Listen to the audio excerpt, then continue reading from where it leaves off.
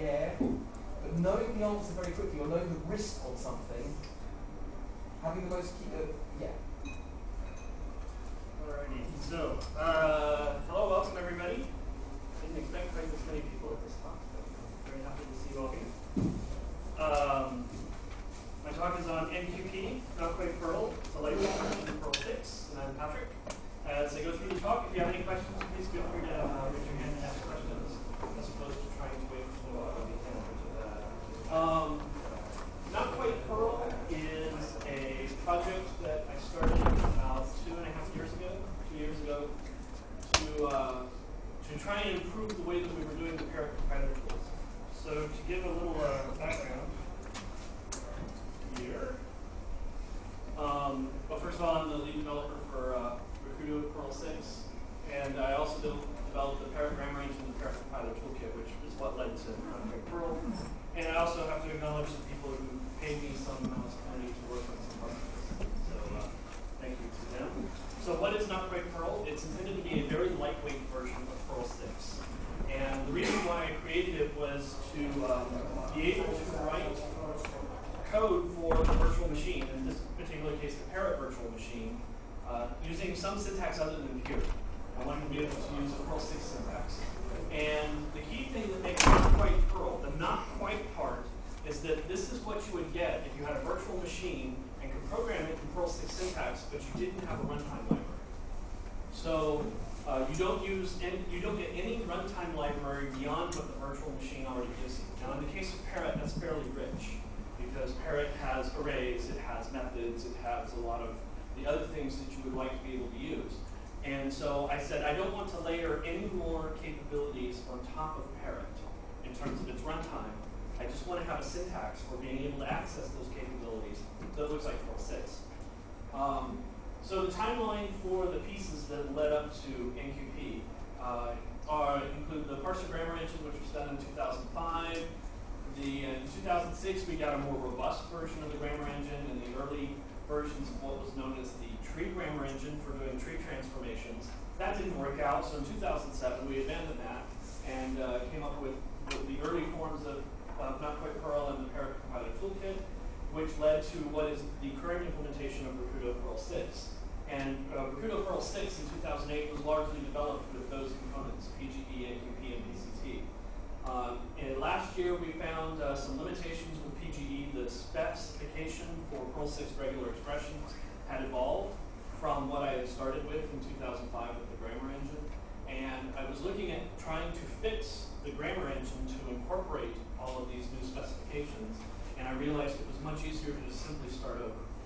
And as part of starting over, I just redeveloped the grammar engine and I wrote, rewrote the grammar engine as NQP instead of in PIR, which it had been previously, and then made it all self-hosting so that the parser for NQP uh, can, knows how to parse itself. And then uh, in 2010, we basically started from scratch with Rakudo again and redeveloped it based on this, uh, this version of NQP called NQP RX. The RX means and regexes. So unlike earlier versions of NQP, um, it, uh, the early versions just did some transformations. The new ones include a regex engine as part of it. And we'll see some of the pieces as I go through this talk. So if you want to know what NQP looks like, if it does its job, it should look a lot like Perl 6. And so here's a simple NQP program. Uh, there's a shebang line to say what it is that we're using. And then we'll say my dollar sign name declares a scalar, and we give it a value just another Perl hacker. Um, I'm calling a sub named hello, which I'll define directly below it. Now the first thing that you should note, if you're looking at this, is you say, what is that colon doing there? Uh, how many of you have seen Damian Conway's talk on dead languages? He always says that any language that uses a colon for assignment is a dead language. It's doomed. right? So I already know NQP is doomed at the outset. Um, the reason for the colon here is because uh, that's still valid Perl 6. In Perl 6, the colon equals means binding as opposed to assignment. So instead of making a copy of something, we actually bind the symbol to the value. And in NQP, all that we have is binding. We just do binding. There are a number of reasons for this choice that have to do with compiler theory and immutability and, and things like that. Um, but in NQP, our basic operation for taking a symbol and uh, associating it with values is a binding operation. Uh, that's, of course, just a very simple program. a more complex one, Just a question. Yes. Should that uh, last dollar name, should that be dollar X? it should be dollar X. There is a typo there. Correct. Is it appropriate? That's all I got.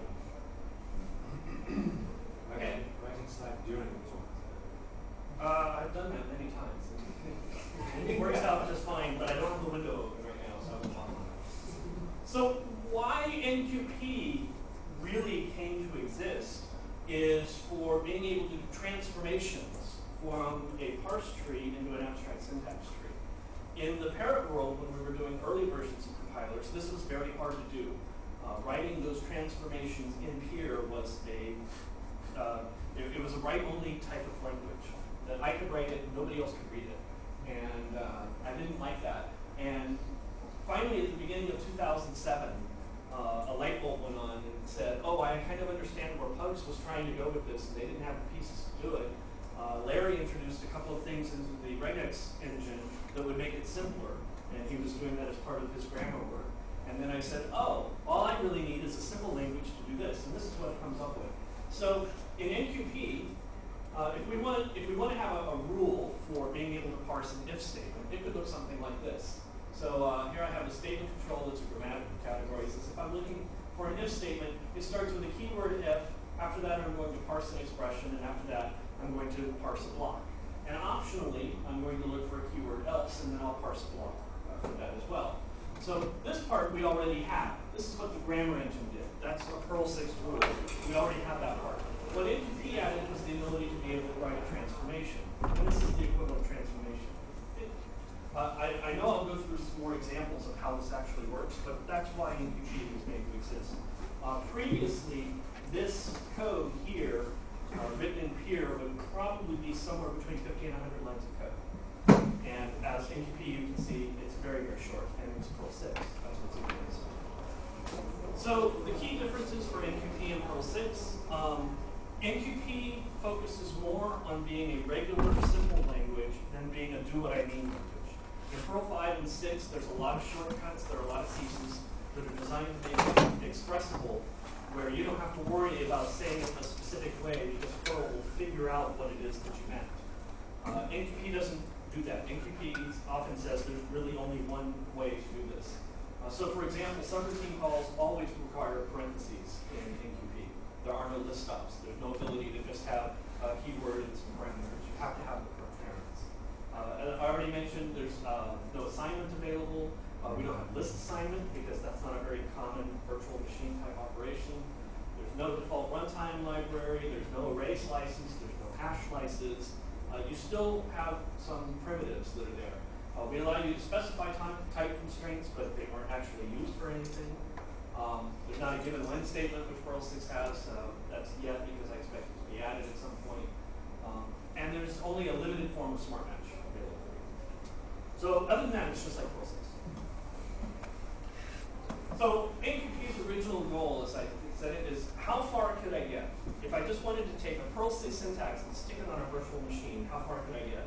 And what you see is what we've gotten to. Um, things that NQP doesn't try to do is it doesn't try to do everything that a virtual machine might offer.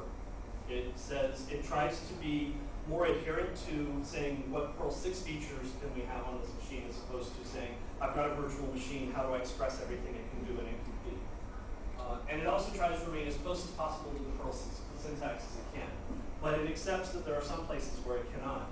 And uh, so we, we do have some rough and sharp edges around some. Long list of features, I won't go through the whole list, but you can see a lot of features that you would want out of a programming language are offered by NQPRX.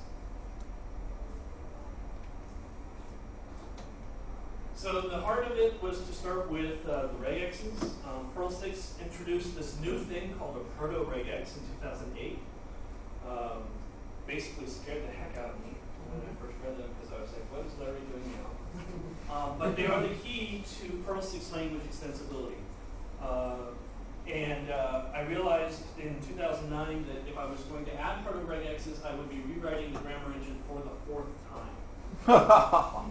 and I decided I did not want to. I knew I was going to have to rewrite the grammar engine for a fourth time. I decided I didn't want to do it a fourth time in PIR. I wanted something that could have some lifelong longevity. So in July 2009, I decided that the way to do that would be to add regexes to NQP.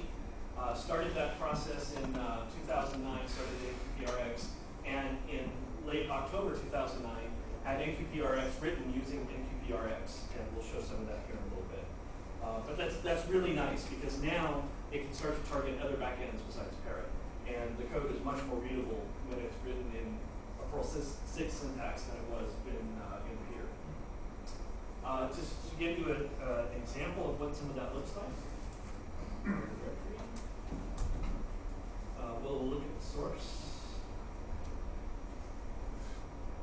Uh, let's look at the source.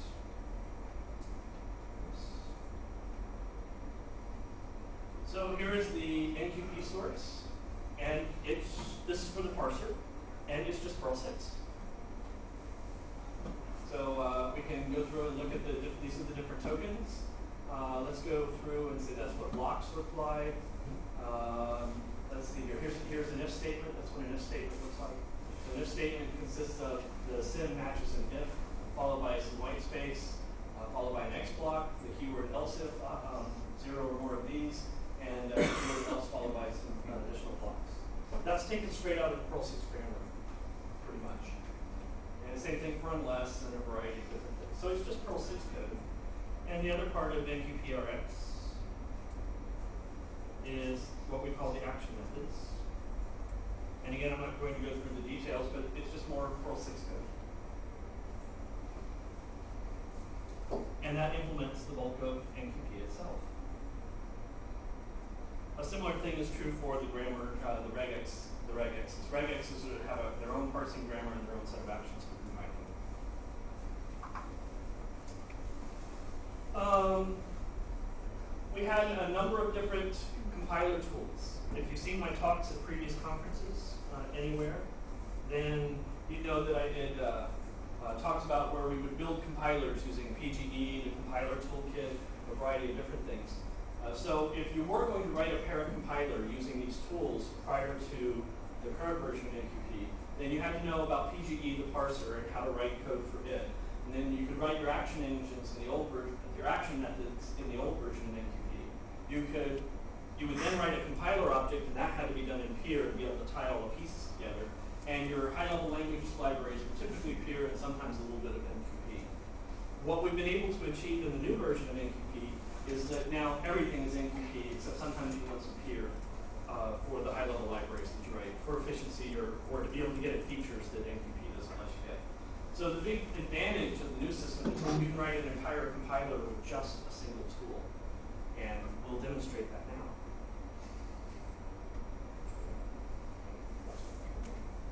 So here's an example compiler.